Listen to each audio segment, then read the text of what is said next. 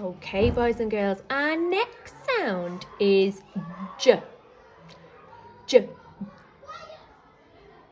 Can you say J? J.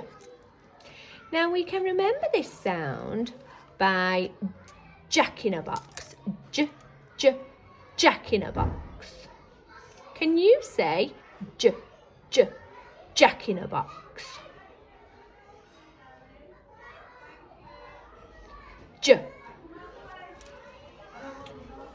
So we start by going down his body and curl and a dot for his head. So down his body, curl and a dot for his head. Okay, now we're going to write it on the board. So we're going to do down his body, a curl and a dot for his head. Down his body, a curl and a dot for his head.